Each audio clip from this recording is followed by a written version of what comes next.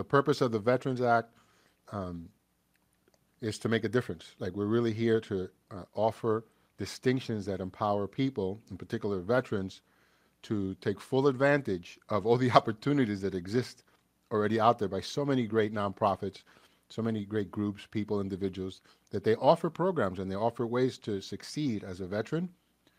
And uh, so we kind of try to bridge what's missing, what are the distinctions that are missing for people to take action.